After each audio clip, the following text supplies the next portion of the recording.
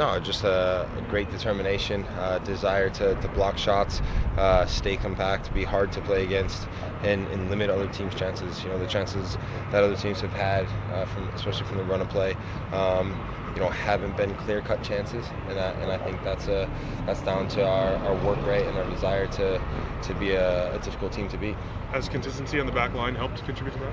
I think so. I mean, it, it's always nice when you when you play with the same the same faces. Uh, there's a reason why we got so many guys in camp.